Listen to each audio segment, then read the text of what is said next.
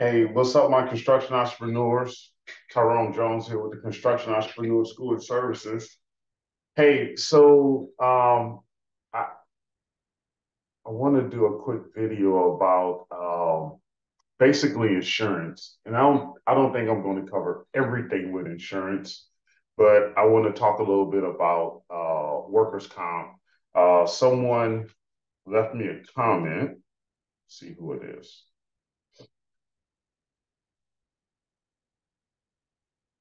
Let's see here. Uh, looks like J Voltage left me a job voltage, J A V job voltage left me a comment saying that uh, what insurance company did you use for general liability and workers comp?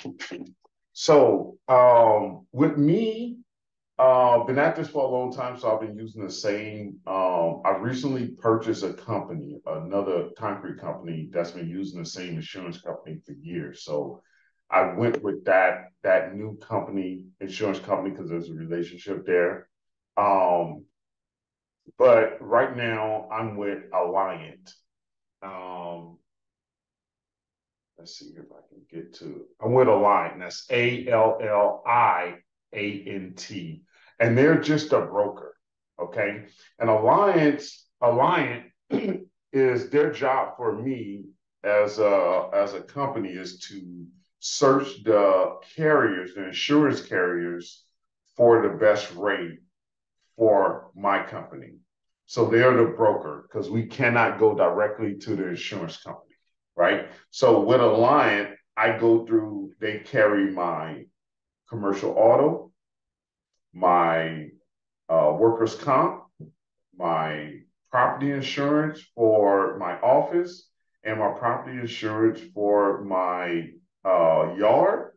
And um, there's a fifty thousand dollar um, uh, uh, dollar amount put away for all my equipment that's not listed as heavy equipment on my equipment schedule list. So I give them an equipment schedule list, uh, basically to have all my larger equipment items, and they cover that. Then they set aside another fifty thousand for all my other equipment, which equals up to a thousand dollars per equipment if any loss, damage, theft happens uh, with that equipment that's not listed on that equipment schedule. So they cover uh, the, the property, I have a container on the, the yard. Uh, they cover that. So they just cover everything um, as far as across the board. I only deal with them as a broker. Uh, maybe I might change. I'm not sure, but I I go to them. They give me the best rate, and um, uh, at this time, it was a good. The timing of the question was pretty good because I just renewed my workers' comp right? And we'll talk about this for a little bit. So I just renewed my workers' comp, which uh, is is is is pretty high up there. So I uh, so basically when I look at my cost, my proposal that they sent me over that I just signed yesterday, uh, looks like the property, my property coverage, which covers building and personal property.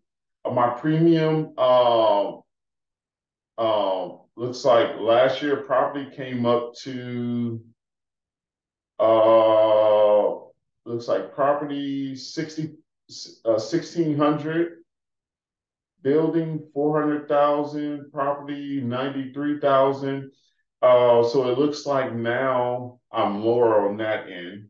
Marine which covers the inland marine coverage, which covers uh, all my schedule equipment that I told you I give them a list of my Bobcats, uh, uh, my walk behind saws, my saw cut machines, uh, my demo concrete saw cutting machines, uh, my attachments for my skid steers, my breakers, my auger bits, my auger motor, things like that is on the, the scheduled equipment list.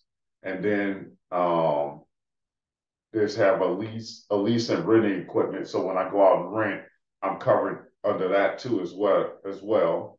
Um, and then my auto, my auto was uh, ten thousand seven hundred last year. Now it went down because I have less vehicles. It went down to thirty six hundred this year.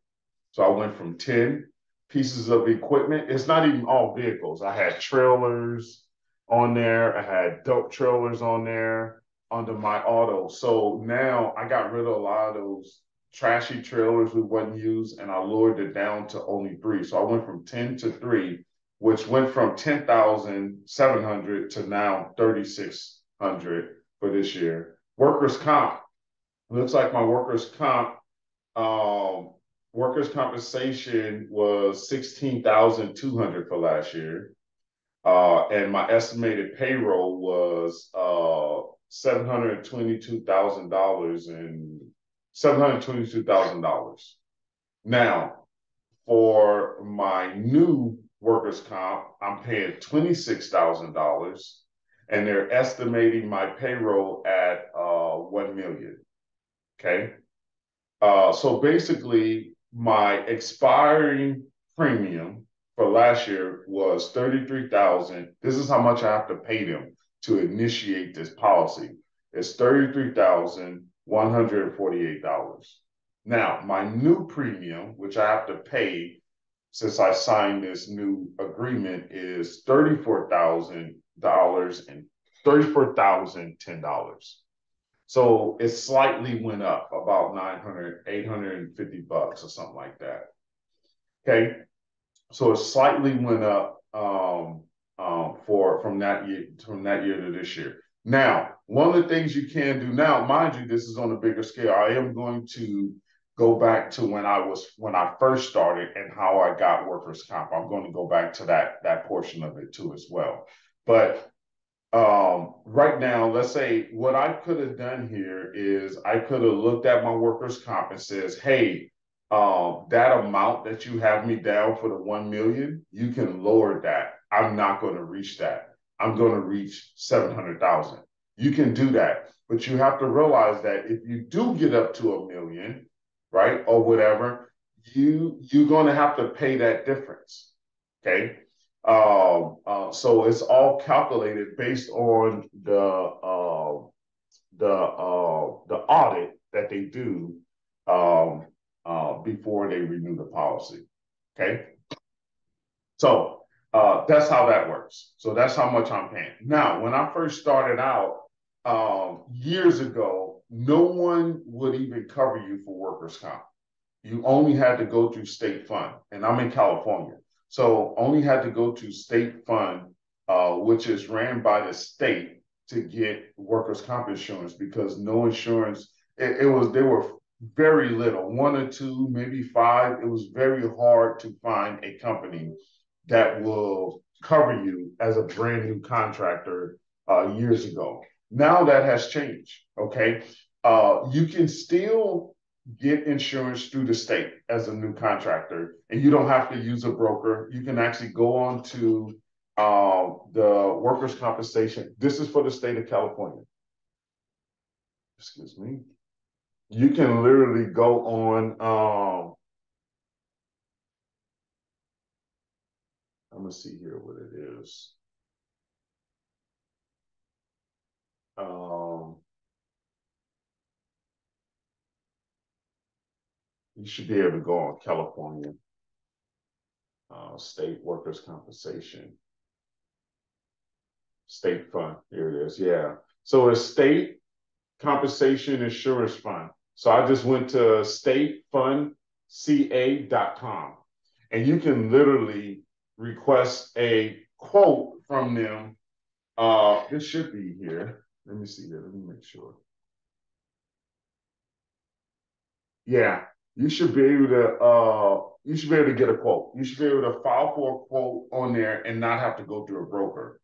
And uh and then you create an online uh portal. So once you get a quote, um um let's see. So so how this went is I needed workers' comp.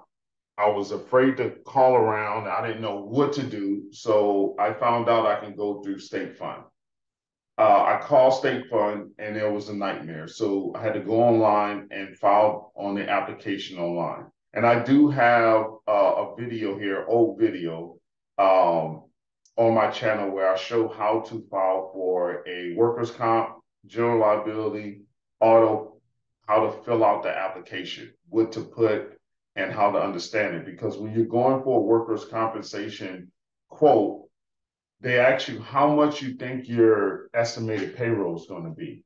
And you don't want to shoot yourself in the foot in the beginning. And let's say you go with like, say, hey, I got a, I, they're they're estimating me at a million dollars of payroll. You definitely don't want to do a million dollars of payroll because you're going to pay high for your premium to get that policy. You want to give them something like, I'm going to do 20,000 for the first year, 10,000 for one guy, 10,000 for another guy. Okay. That's what you want to give them. You want to give them a low number. Now, mind you, once you get that cost, that cost is only for $20,000 uh, payroll amount. If you go over, you're going to get slapped in the face with a big bill. You're only giving them a lower amount because you're starting out and you may not know what you're going to be doing. So it's no sense paying for a larger policy because you want to do big work. You're going to have to pay big money. You may not have those funds when you're starting out. So you want to give them a lower number. So when they ask what your estimated payroll is going to be, you want to go as low as possible. 20 to you want to say 20,000 and you're going to do two employees. They're each going to work 10,000 part, part, part time because I'm just starting out. that's all I want. And then once you get that quote, uh, I think it, I think at that time years ago, I think the quote I had to pay 2,100, 21, 2,500 to start the policy.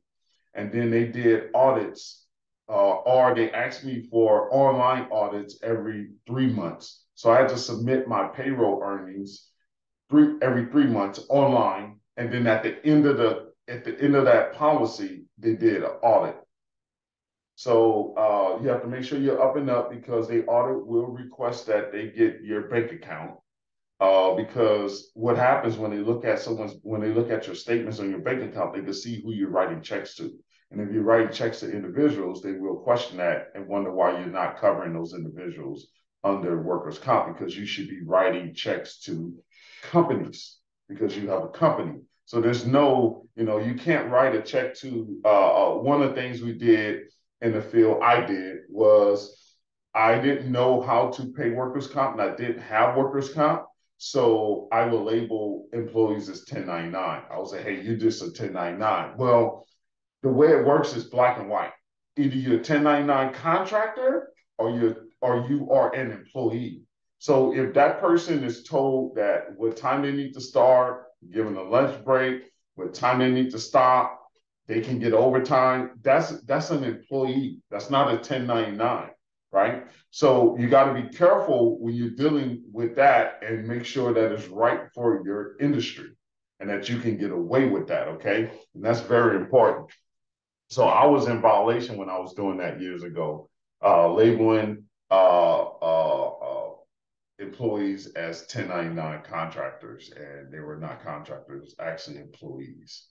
Uh, so anyway, so got the quote, they issued the policy, then you create an online portal. Mind you, this is with State Fund. Create an online portal, and then you can file claims, get certificates from your online portal. If it's a company that's out of state dealing with state fund, you cannot get a certificate uh, you actually have to call State Fund to get a certificate for any out-of-state companies that requires you to send in your uh, certificate of insurance or endorsements, right? And I talk about that on another video where you do endorsements for contractors or companies that you do work for. Uh, you endorse them to uh, release a liability from them, okay? Calls are starting to come in, so I'm gonna have to wrap this up soon. So uh, that's how I did uh, with my first workers' comp insurance. I went through State Fund and got a quote and kept it just that simple.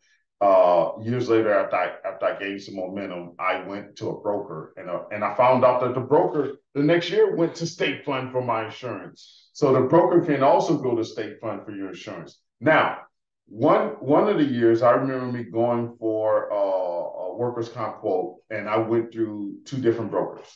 And one of the brokers was giving me a quote, and I went to another broker and I said, "Hey, I'm looking for a quote." This, and that broker, the second broker, came back to me and says, "Hey, three of the companies that I got a quote from already have given you a quote with this other broker, so they just gave me the same number." So what I found out is that there's a pool of insurers that uh, that these brokers go to, right? And they submit it to all these brokers to get a quote back. And sometimes when you go through different brokers looking at quotes, those insurance companies are are getting are giving the same quote for your company to different brokers.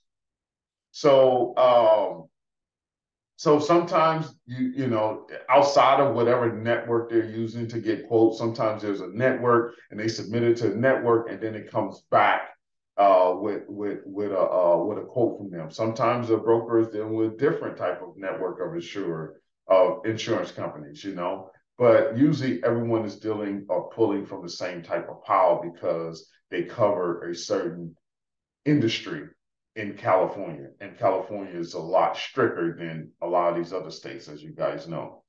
Um, and that's what happens. So, and then next thing you know is uh, commercial auto. So when you're doing contractor work and you're actually working for general contractors, you cannot use your personal insurance to cover your vehicle.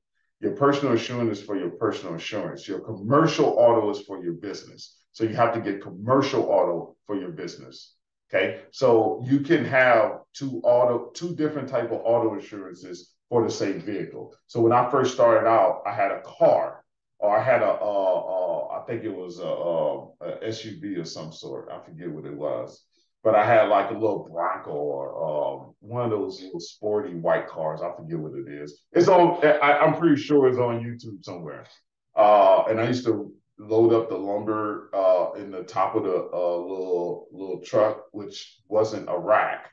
But anyway, so I had that vehicle. I had commercial insurance covered under that vehicle, and I had personal insurance covered under that vehicle. Know that if you're driving for work and you get into an accident and you only have personal insurance coverage, and they actually, what were you doing? Where were you going? uh, uh, uh, you know, where were you headed? You're like, hey, I was working, going from one job, one house to the next house, then they're not going to cover you because you should have commercial auto insurance for that vehicle. So you got to be careful. So yes, you have to get two. You have to get commercial and personal. And that will be covered that. I'm gonna let you go with that. Guys, I went long with this one. Hope there's a lot. Uh, I used to do uh, applications and show different type of forms and really you guys you guys get uh, um, uh, less interested in that. So i'm just talking this through. Hopefully i'm explaining this right not jumping all over the place because uh, i think we all got adhd especially as owners. So uh, let me know if you have any other questions. Go ahead and leave it in a comment. Make sure you like follow subscribe uh, and uh, and share it, you know, and let me know if I need to elaborate on something. Okay. Thanks. Hustle hard, then hustle harder. My construction entrepreneurs catch you on the next one.